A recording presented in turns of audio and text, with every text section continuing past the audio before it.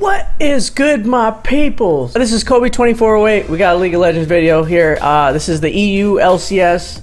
Again, some crazy shit is going down in the EU LCS. I think it's more exciting than watching NA LCS, to be honest with you, because like there's just some crazy swings that happen.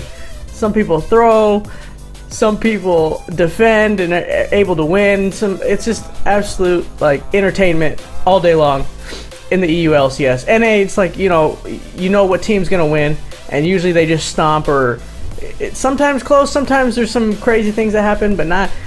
Uh, it's very rare. Uh, the majority of the time, the best team wins, like TSM, and the other team is Immortals. I mean, they're just stomping everybody.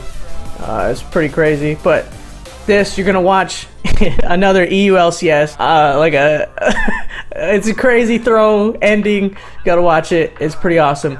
Also, I have a thank you video coming out for my 100 subscribers. I think I have 104 subscribers now, and I appreciate a lot. Thank you so much. Without you guys, I would be nothing. I know that's cliche, and I know everybody says that. There's my hands, but yep, that's yeah. They'll they'll be coming out. Watch out for that. Make sure again you subscribe, you like, comment, share. If you didn't like the video, dislike it.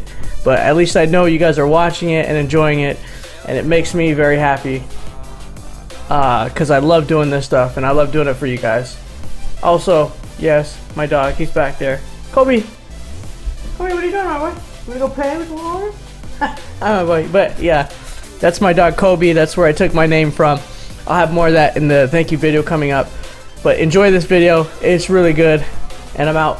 Peace! Go in. The choice.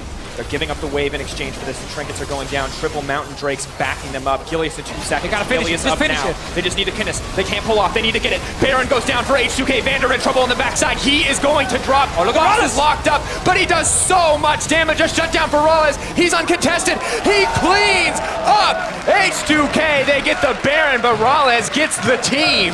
Another fight where HK not able to commit to the right targets. If Rollis is standing in range of your carries, you gotta go for Rollis. You can only buy time if he's standing really far back and not hitting your Viktor, not hitting your Sivir. But he was standing in the perfect position, getting hurricane shots on all the squishy members of H2K. Easy team fight for him. And the armor bonus means nothing here. Gilius happy to tank it up as they look to break the gonna first inhibitor.